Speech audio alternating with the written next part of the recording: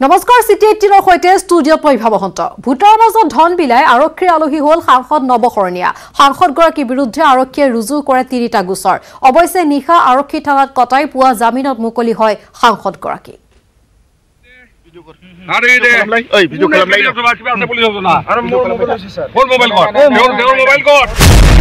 আৰক্ষীৰ আলহী হ'ল সাংসদ নৱশৰণীয়া। মই লগে লগে বিজেপি ডাঙৰীয়াক মই ফোন কৰি জনাইছো যে এনেকুৱা এটা ঘটনা হৈছে। যে আমি আপোনালোকৰ আলহী হৈছো। কিন্তু কিয়? আমি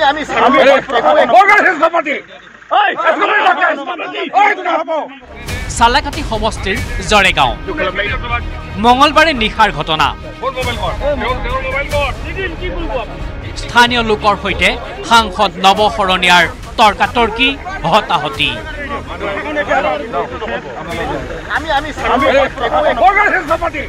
বাৰে বাৰে কৈছে গুলি গুলি ফায়াৰ ফায়াৰ মাৰ মাৰ পিট পিট। এক হুলস্থুলীয়া পৰিৱেশ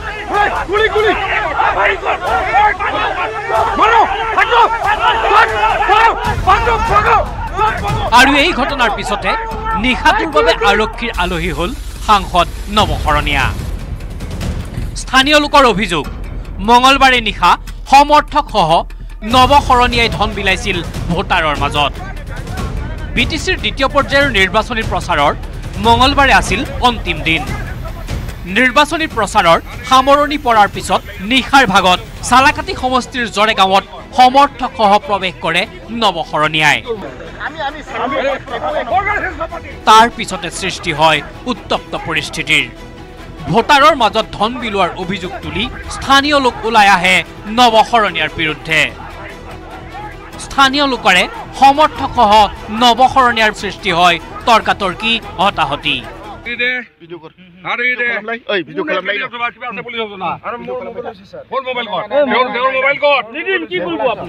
অৱশেষত স্থানীয় লোকৰ অভিযোগৰ ভিত্তিত চালাকাটি আৰক্ষীয়ে গ্ৰেপ্তাৰ কৰে সাংসদ নৱশৰণীয়াক। পৰৱৰ্তী সময়ত কোকৰাঝাৰ সদৰ থানালৈ নিয়া হয় সাংসদজনক। প্ৰায় আঠ ঘণ্টা ধৰি আৰক্ষী থানাত বন্দী হৈ থাকে সাংসদ নৱশৰণীয়া। আৰু এই ঘটনা সন্দৰ্ভত আৰক্ষীয়ে নৱশৰণীয়াৰ বিৰুদ্ধে ৰুজু কৰে তিনিটাকৈ গোচৰ। বুধবাৰে পুৱাহে জামিনত মুকলি হয় সাংসদ নৱশৰণীয়া। ইয়ালৈকে লৈ আহি আপোনালোকে দেখিলে যে কালি ৰাতিৰ পৰা আমি এতিয়া ওলালোঁ। আমাৰ কথা হ'ল যে হয় এছ পি ডাঙৰীয়াই কৈছে যে আপুনি মডেল কোৰ্টৰ কথা ভাল হৈছে। মই ঠিক আছে আপোনালোকে কেছ কৰক। আমি সহযোগ কৰিম। যাৱতীয় ফৰ্মেলিটিখিনি কৰক।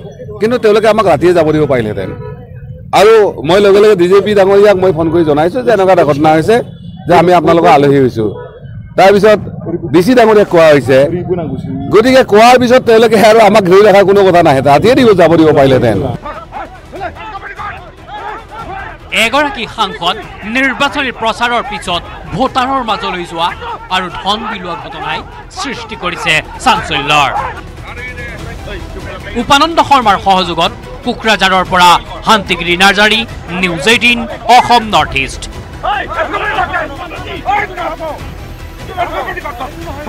আৰু কাইলৈ বি টি চিৰ দ্বিতীয় পৰ্যায়ৰ ভোটগ্ৰহণ চিৰাং আৰু কোকৰাঝাৰৰ ঊনৈছটা সমষ্টিত হ'ব নিৰ্বাচন। দ্বিতীয় পৰ্যায়ৰ নিৰ্বাচনৰ পূৰ্বে মৰুভূমিত গঢ়ি তোলা হৈছে কটকটীয়া নিৰাপত্তা ব্যৱস্থা। বেলট বাকচ লৈ ভোট কেন্দ্ৰলৈ ৰাওনা হৈছে প্ৰিজাইডিং বিষয়া। হাগ্ৰামা মহিলাৰী খাম্পা বৰগাড়ী সহ বি পি এফৰ কেইবাজনো বাঘা বাঘা নেতাৰ নিৰ্ণয় হ'ব ভাগ্য।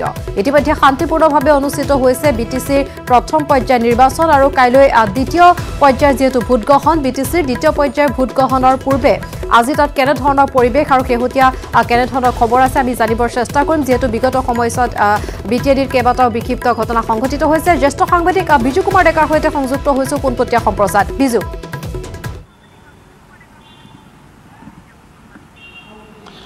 হয় ভা মাজত মাত্ৰ চাৰে চৈধ্যটা ঘণ্টা আছে। চাৰে চৈধ্য ঘণ্টাৰ পাছত অহাকালি পুৱা চাৰে সাত বজাৰ পৰা দ্বিতীয় পৰ্যায়ৰ ভোটগ্ৰহণ কোকৰাঝাৰ আৰু চিৰাং জিলাত অনুষ্ঠিত হ'ব। মই কোকৰাঝাৰ জিলাৰ কোকৰাঝাৰ সদৰৰ Kokrajhar higher secondary girls higher ছেকেণ্ডেৰীত উপস্থিত আছোঁ। ইয়াত তিনিটা ভোট চেণ্টাৰ আছে আৰু এই ভোট চেণ্টাৰ কেইটা ইতিমধ্যে ইয়াত যিসকল পলিং বিষয়া প্ৰিজাইডিং বিষয়া তেওঁলোক আহি ইয়াত আহি উপস্থিত হৈছে আৰু তেওঁলোকে অহাকালিৰ বাবে সকলো ধৰণৰ প্ৰস্তুতি ইতিমধ্যে তেওঁলোকে কৰি আছে। কেনেদৰে ৰাতিপুৱাৰ পৰা তেওঁলোকে কামত লাগিব লাগিব তাৰ পূৰ্বে তেওঁলোকে যিখিনি কৰণীয় কাম সেই কামখিনি তেওঁলোকে ইতিমধ্যে কৰিছে। প্ৰথম পৰ্যায়ত সাতসত্তৰ শতাংশ ভোট অতি শান্তিপূৰ্ণভাৱে ৰাইজ ওলাই আহি প্ৰথম পৰ্যায়ত ওদালগুৰি আৰু বাক্সা জিলাত ভোটাৰ ৰাইজে ভোটাধিকাৰ সাব্যস্ত কৰিলে আৰু তাৰ পাছত অহাকালি পুৱা এতিয়াৰ পৰা প্ৰায় চৈধ্য ঘণ্টাতকৈ বেছি অলপ কম সময় আছে আৰু চাৰে চৈধ্য ঘণ্টাৰ পাছত পুৱা চাৰে সাত বজাৰ পৰা অনুষ্ঠিত হ'ব এই ভোটগ্ৰহণ প্ৰক্ৰিয়াটো। আৰু এই ভোটগ্ৰহণ প্ৰক্ৰিয়াত দুখন জিলাত মই আন এটা ভোটকেন্দ্ৰ দেখাবৰ কাৰণে কেমেৰা পাৰ্চন সঞ্জয় আছে তেওঁ দেখাব। কিন্তু এই মুহূৰ্তত ক'ব বিচাৰিম যে ঊনৈছটা ভোট পৰিষদীয় সমষ্টিত কাইলৈ পুৱাৰ পৰা আৰম্ভ হ'ব ভোটগ্ৰহণ প্ৰক্ৰিয়া। আৰু এই ভোটগ্ৰহণ প্ৰক্ৰিয়াত চাৰি লাখ তেইছ হাজাৰগৰাকী ভোটাৰে ভোটাধিকাৰ সাব্যস্ত কৰিব আৰু এশ এঘাৰগৰাকী প্ৰাৰ্থীৰ ভাগ্য ভোটাৰসকলে ভোটাধিকাৰ সাব্যস্ত কৰি ভোটাধিকাৰ সাব্যস্ত কৰি ভাগ্য নিৰ্ণয় কৰিব এশ এঘাৰগৰাকী প্ৰাৰ্থীৰ আৰু এই মুহূৰ্তত এগৰাকী বিষয়াৰ পৰা জানিব বিচাৰিম যে আপোনালোকৰ প্ৰস্তুতিটো কেনেধৰণৰ? প্ৰস্তুতিটো কালি চাৰে সাতটাৰ পৰা পলিং আৰম্ভ হ'ব চাৰে চাৰিটালৈকে চলিব। আমি জাষ্ট প্ৰিপাৰেশ্যনখিনি কৰি আছোঁ পলিং বুথৰ এইখিনি কমপ্লিট হ'লে কালি চাৰে সাতটাত আমি আৰম্ভ কৰি দিব পাৰিম। পূৰ্বৰ পৰিৱেশৰ সলনি এইবাৰ পৰিৱেশটো অলপ সুকীয়া। আহৰ ৰাইজ সজাগ বেছি হৈছে অঁ এইটোতো হয়। এইটোতো ডেফিনেটলি ফেয়াৰ ফেয়াৰ পল কৰাৰ কাৰণে আমি চেষ্টা কৰিম। আৰু ক'ভিডৰ যিখিনি প্ৰট'কল মাৰিব লাগে সেইখিনি মাৰিব ক'ভিড প্ৰট'কল মেইনটেইন কৰাৰ ক্ষেত্ৰত কি কি ব্যৱস্থা আপোনালোকে লৈছে? চাৰ্কেলখিনি থাকিব লগত চেনিটাইজাৰ থাকিব তাৰপৰা থাৰ্মেল স্কেনিং থাকিব সেইখিনি কৰা হ'ব। ফাৰ্ষ্ট ফেজত দুখন ডিষ্ট্ৰিক্টত ছেভেণ্টি ছেভেন পাৰ্চেণ্ট পলিং হৈছে। ইয়াত কিমান আশা কৰিছে আপোনালোকে? ভালেই হ'ব লাগে পলিং দেখা যাব কালি কি হয়। পলিংটো ভালেই হ'ব লাগে। আশা কৰা হৈছে ফাৰ্ষ্ট ফেজত সাতসত্তৰ শতাংশ য'ত পুলিং হ'ল ৰাইজে ভোটাধিকাৰ সাব্যস্ত কৰিলে। এইবাৰো ছেকেণ্ড ফেজত দুখন জিলাত কোকৰাঝাৰ আৰু চিৰাঙত একৈছটা সমষ্টিত কোকৰাঝাৰত বাৰটা পৰিষদীয় সমষ্টি আছে আৰু চিৰাঙত আছে সাতটা মুঠ একৈছটা সমষ্টিত চাৰি লাখ তেইছ হাজাৰ ভোটাৰে ভোটাধিকাৰ সাব্যস্ত কৰিব। মই আৰু আন এটা আহ, ভোটকেন্দ্ৰ আছে এই গাৰ্লছ হায়াৰ ছেকেণ্ডেৰী স্কুলখনতে। ইয়াৰ কাষত এখন প্ৰাথমিক বিদ্যালয় আছে তাতো এটা ভোটকেন্দ্ৰ আছে। আহ, মই এই ভোটকেন্দ্ৰটো তৃতীয়টো ভোটকেন্দ্ৰ গাৰ্লছ হায়াৰ ছেকেণ্ডেৰী স্কুলৰ হায়াৰ ছেকেণ্ডেৰী স্কুলৰ এই তৃতীয়টো আহ, ভোটকেন্দ্ৰ মই দেখাম ইয়াৰ পৰিৱেশ পৰিৱেশখিনি আৰু এটা কথা ঠিক যে ক'ভিড সময়েই ক'ভিডৰ বাবেই পৰিষদৰ নিৰ্বাচন স্থগিত কৰা হৈছিল। তাৰ পাছত ক'ভিডৰ সংক্ৰমণৰ সংখ্যা কমি যোৱাৰ পাছত আৰম্ভ হৈছে। এইটো ছেকেণ্ড পৰ্যায়ৰ ভোটগ্ৰহণ। আৰু কাইলৈৰ বাবে প্ৰিপেৰেশ্যনটো কেনেধৰণৰ আপোনালোকৰ? কাইলৈ প্ৰিপেৰেশ্যন কেনেধৰণৰ? কাইলৈ আমি যিমান পাৰোঁ ভালভাৱে মানে ইলেকশ্যনটো চলাই নিবৰ কাৰণে যত্ন কৰিছোঁ। আৰু আমি সেইমতে আমি ধৰ আগতীয়াকৈ যিখিনি কৰ্মসূচী আমাৰ পলিং অফিচাৰ মোৰ সহযোগী আছে আৰু মই পলিং কি কয় এইটো? ৰিটাৰ্ণিং অফিচাৰ হিচাপে। আমি যিখিনি কৰিব লাগে সেইখিনি দায়িত্বখিনি সুচাৰুৰূপে মানে চলাই আছোঁ এতিয়া। ক'ভিড প্ৰট'কল আমাক অলৰেডি ট্ৰেইনিঙত শিকাইছে এইটো কথা যে কেনেকৈ মেইনটেইন কৰিব লাগিব। আমি যিবিলাক ভোটাৰ আহিব সিহঁতৰ কাৰণে আমি চাৰ্কুল এক মিটাৰ ডিষ্টেঞ্চ মেইনটেইন কৰি পেলাই আমি সিহঁতক ভোট দিয়াৰ ব্যৱস্থা কৰিছোঁ। এক মিটাৰ ছ'চিয়েল ডিষ্টেঞ্চিং মেইনটেইন কৰি ভোটাৰসকলে যাতে ভোটাধিকাৰ নিজৰ ভোটাধিকাৰ সাব্যস্ত কৰিব পাৰে তাৰ প্ৰতি লক্ষ্য ৰাখি নিৰ্বাচনী বিষয়াই প্ৰিজাইডিং বিষয়া পুলিং বিষয়াই বিশেষ ব্যৱস্থা গ্ৰহণ কৰিছে। আশা কৰা গৈছে যে ফাৰ্ষ্ট পেজত যেনেদৰে শান্তিপূৰ্ণভাৱে ভোটাধিকাৰ সাব্যস্ত কৰিল দুখন জিলাৰ ৰাইজে ঠিক একেদৰে কোকৰাঝাৰ আৰু চিৰাং জিলাত কালি পুৱা চাৰে সাত বজাৰ পৰা যি ভোটগ্ৰহণ আৰম্ভ হ'ব সেইটোতো সকলো ৰাইজ ভোটাধিকাৰ সাব্যস্ত কৰিবলৈ ওলাই আহিব বুলি আশা কৰা হৈছে আৰু শান্তিপূৰ্ণভাৱে আৰু ন্যায়িক হ'ব বুলিও কামনা কৰা হৈছে। ইভা। হয় বিজয় মুঠা আপোনাক ধন্যবাদ জনাইছোঁ আৰু বিজয় কুমাৰ ডেকাই আমাক পোনপটীয়াভাৱে দেখুৱালে। কাইলৈ দ্বিতীয় পৰ্যায়ৰ ভোটগ্ৰহণৰ পূৰ্বে আজি কিদৰে সাজু হৈছে পলিং বিষয়া প্ৰিজাইডিং বিষয়া ক'ভিড প্ৰট'কল মানি কাইলৈ যিহেতু সম্পন্ন হ'ব দ্বিতীয় পৰ্যায়ৰ ভোটগণনা তাৰ বাবে ইতিমধ্যে প্ৰস্তুতি সম্পূৰ্ণ হৈছে আৰু সেয়া আমাক পোনপটীয়াভাৱে দেখুৱালে বিজয় কুমাৰ ডেকাই।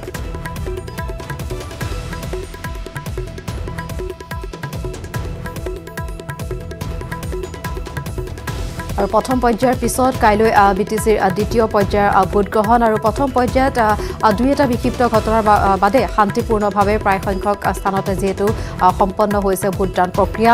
আৰু কাইলৈ দ্বিতীয় পৰ্যায়ৰ ভোটদান। তাৰ পূৰ্বে যিহেতু আমি জনাইছোঁ বি টি চিত সংঘটিত হৈছে ঠায়ে ঠায়ে কেইবাটাও বিক্ষিপ্ত ঘটনা। গতিকে তাৰ বাবে সকলো নিৰাপত্তা বেষ্টনী কটকটীয়া কৰি তোলা হৈছে। পলিং বিষয়া প্ৰিজাইডিং বিষয়াসকল সাজু হৈছে। কাইলৈ বি টি চিৰ দ্বিতীয় পৰ্যায়ৰ ভোটগ্ৰহণৰ বাবে।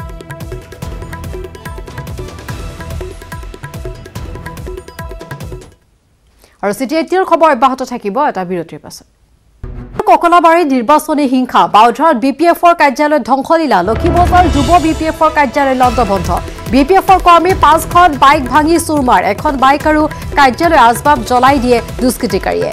লক্ষীবজাৰৰ এপছুৰ স্থায়ী কাৰ্যালয়ৰ ক্ষতিসাধন ঘটনাত ইউ পি পি এল জড়িত থকাৰ অভিযোগ। থানেশ্বৰ বসুমতাৰীয়ে এই অভিযোগ উত্থাপন কৰিছে। থানেশ্বৰ বসুমতাৰী চাপাগুৰি বি এফৰ বি পি এফৰ বিধায়ক। বি টি চিৰ প্ৰাক্তন ই এম বুদ্ধি নৰ্জৰীৰ সমৰ্থকে এপছুৰ কাৰ্যালয় আৰু কাৰ্যালয়ৰ খিৰিকীৰ গ্লাছ ভাঙিছে বুলি অভিযোগ উত্থাপন কৰিছে। ইয়াৰ পিছতে পৰিস্থিতি উত্তপ্ত হৈ পৰে। আৰক্ষী এছ এছ বি উপস্থিত হৈ নিয়ন্ত্ৰণ কৰে পৰৱৰ্তী সময়ত এই পৰিস্থিতি। আৰু দৃশ্য আমি দেখুৱাইছো কিদৰে নিৰ্বাচনী হিংসা দেখা পোৱা গৈছে বাক্সাৰ ককলাবাৰীত। বাওধাৰত বি পি এফৰ কাৰ্যালয়ত এই ধ্বংসলীলা চলিছে। লক্ষীবজাৰৰ যুৱ বি পি এফৰ কাৰ্যালয় লণ্ডভণ্ড কৰা হৈছে। বি পি এফ কৰ্মীৰ পাঁচখন বাইক ভাঙি চুৰমাৰ এখন বাইক আৰু কাৰ্যালয়ৰ আচবাব জ্বলাই দিয়ে দুষ্কৃতিকাৰীয়ে। লক্ষীবজাৰ এপছুৰ স্থায়ী কাৰ্যালয়ৰ ক্ষতিসাধন। এই সমগ্ৰ ঘটনাত ইউ পি পি এল জড়িত থকাৰ অভিযোগ উত্থাপন কৰিছে থানেশ্বৰ বসুমতাৰীয়ে। থানেশ্বৰ বসুমতাৰী হৈছে চাপাগুৰিৰ বি পি এফৰ বিধায়ক। বি টি চিৰ প্ৰাক্তন ই এম বুদ্ধি নাৰ্জাৰীৰ সমৰ্থকে এপছুৰ কাৰ্যালয়ৰ খিৰিকীৰ গ্লাছ ভাঙিছে বুলি তেওঁ অভিযোগ উত্থাপন কৰিছে।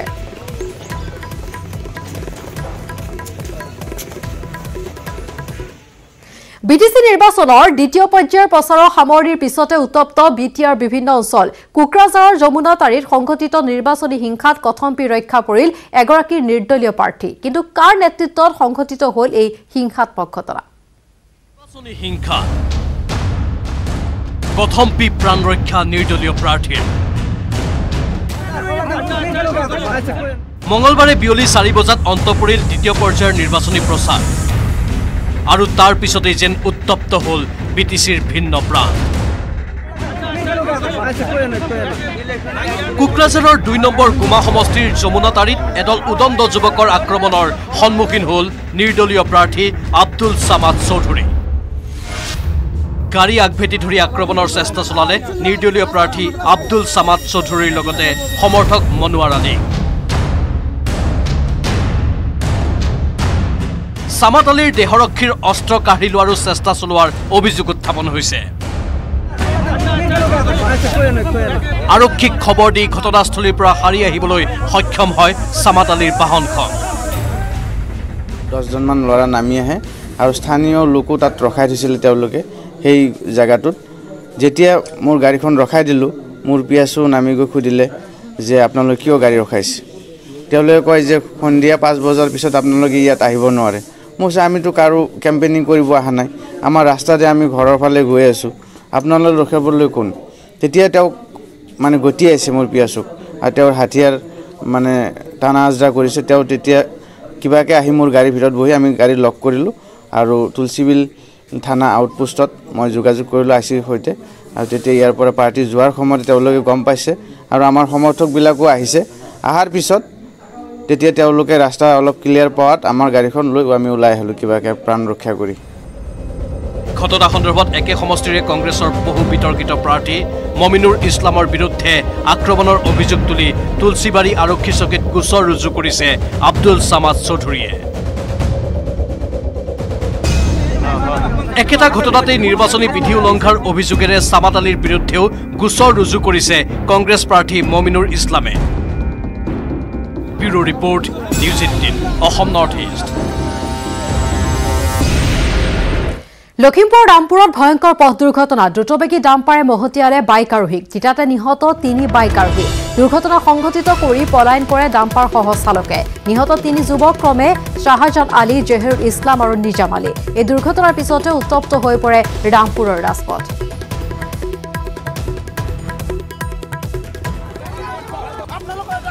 আৰু দৃশ্য আমি দেখুৱাইছো লখিমপুৰৰ ৰামপুৰত এই ভয়ংকৰ পথ দুৰ্ঘটনা।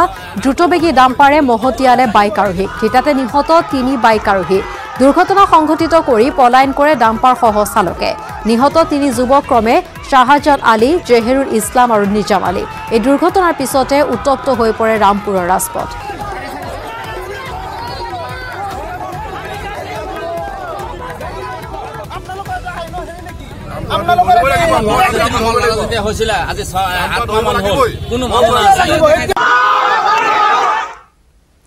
ডিব্ৰুগড় টিংখাঙত মুখ্যমন্ত্ৰী সৰ্বানন্দ সোণোৱাল মৈত্ৰী আঁচনিৰ অধীনত আৰক্ষী থানা উদ্বোধন কাৰ্যসূচী। নৱনিৰ্মিত টিংখাং আৰক্ষী থানা ভৱনৰ শুভ উদ্বোধন। মুখ্যমন্ত্ৰী সৰ্বানন্দ সোণোৱালে কৰে শুভ উদ্বোধন। ডিব্ৰুগড় টিংখাঙত মুখ্যমন্ত্ৰী সৰ্বানন্দ সোণোৱাল মৈত্ৰী আঁচনিৰ অধীনত আৰক্ষী থানা উদ্বোধন কাৰ্যসূচী।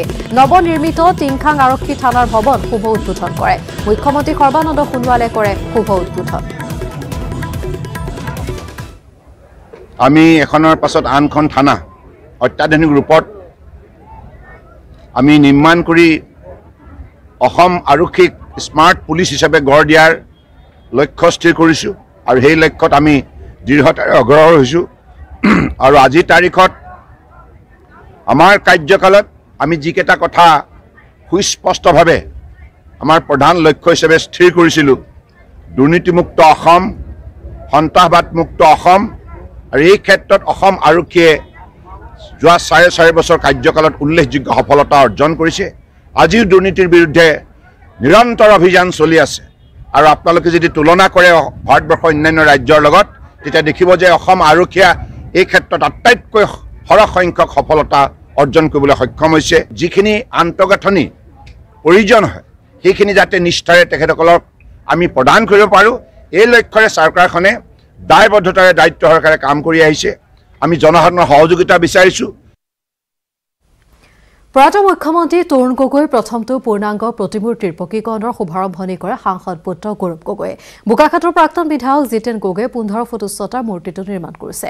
প্ৰয়াত মুখ্যমন্ত্ৰী তৰুণ গগৈ চিতাভস্মলৈ কংগ্ৰেছে আৰম্ভ কৰা শান্তি সদ্ভাৱনা যাত্ৰা মঙলবাৰে নিশা বোকাখাটত উপস্থিত হোৱাৰ পিছত আজি চিতাভস্ম বিসৰ্জন দিয়া হয়। যোৰহাটৰ কাছাৰীঘাটেৰে ব্ৰহ্মপুত্ৰৰ বুকুত।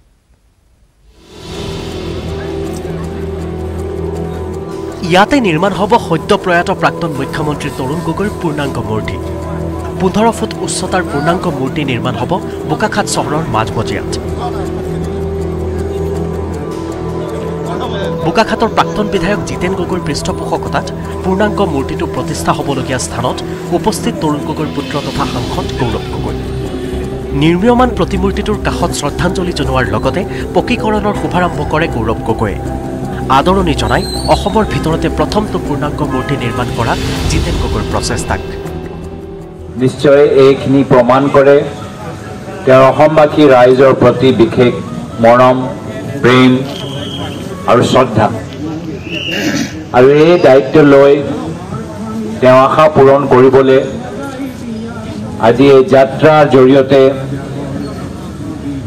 তেওঁক আমি অসমৰ প্ৰত্যেক জিলাখন ওচৰলৈ লৈ গৈছোঁ। নিৰ্মীয়মান মূৰ্তিটো এমহীয়া আদ্যশ্ৰাদ্ধৰ দিনাই মুকলি কৰা হ'ব বুলি জানিবলৈ দিয়ে প্ৰাক্তন বিধায়ক জিতেন গগৈয়ে সদ্যপ্ৰয়াত প্ৰাক্তন মুখ্যমন্ত্ৰী তৰুণ গগৈৰ শেষ ইচ্ছা পূৰণৰ বাবে সাংসদ পুত্ৰ গৌৰৱ গগৈয়ে শান্তি সদ্ভাৱনা যাত্ৰাৰে গুৱাহাটীৰ পৰা উজনিলৈ যাত্ৰা আৰম্ভ কৰি মঙলবাৰে নিশা উপস্থিত হয় বোকাখাটত বোকাখাট ব্লক কংগ্ৰেছৰ উদ্যোগত আয়োজিত শ্ৰদ্ধাঞ্জলি অনুষ্ঠানত বন্তি প্ৰজ্বলনেৰে শুভাৰম্ভ কৰে সাংসদ পুত্ৰ গৌৰৱ গগৈয়ে। তৰুণ গগৈৰ চিতাভস্মত বোকাখাটৰ অগপ বিজেপিকে ধৰি বিভিন্ন দল সংগঠনে শেষ শ্ৰদ্ধা জ্ঞাপন কৰে। বুধবাৰে যোৰহাট নগৰৰ কাছাৰী ময়দানত ৰখা হয় প্ৰয়াত গগৈৰ চিতাভস্ম। শ্ৰদ্ধাঞ্জলি জ্ঞাপন কৰে বহুজনে। বিয়লি কাছাৰী ময়দানৰ পৰা ফেৰীৰে প্ৰাক্তন মুখ্যমন্ত্ৰী তৰুণ গগৈৰ চিতাভস্ম বিসৰ্জন দিয়া হয় ব্ৰহ্মপুত্ৰৰ বুকুত। পৰিয়ালৰ লগতে উপস্থিত থাকে কংগ্ৰেছৰ বহু কেইজন শীৰ্ষ নেতা। বোকাখাটৰ পৰা প্ৰদ্যুৎ মহন্ত আৰু যোৰহাটৰ পৰা Gautam Bora news eighteen Assam north east যোৰহাটৰ নিমাতীঘাটত সদ্যপ্ৰয়াত প্ৰাক্তন মুখ্যমন্ত্ৰী তৰুণ গগৈ চিতাভস্ম বিসৰ্জন। পুত্ৰ গৌৰৱ গগৈ পত্নী দলি গগৈকে ধৰি পৰিয়ালৰ লোকৰ লগতে উপস্থিত থাকে বহু লোক। উপস্থিত থাকে কংগ্ৰেছৰ কেইবাগৰাকীও শীৰ্ষস্থানীয় নেতা। যোৰহাটৰ নিমাতীঘাটৰ পৰিৱেশ আমি দেখুৱাইছো সদ্যপ্ৰয়াত প্ৰাক্তন মুখ্যমন্ত্ৰী তৰুণ গগৈ চিতাভস্ম বিসৰ্জন দিয়া হৈছে।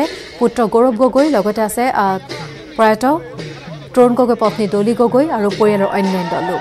উপস্থিত আছে কংগ্ৰেছৰ কেইবাগৰাকীও শীৰ্ষস্থানীয় নেতা। আৰু সকলো উপস্থিতিত এয়া যোৰহাটৰ নিমাতী ঘাটত বিসৰ্জন দিয়া হৈছে প্ৰাক্তন মুখ্যমন্ত্ৰী তৰুণ গগৈ চিতাভস্ম আৰু চিটি এইটিনত পুনৰ সময় হৈছে খন্তেক বিৰতি মই ব্যৱহাৰ কৰোঁ আটাইতকৈ সবল আৰু সতেজ চিমেণ্ট।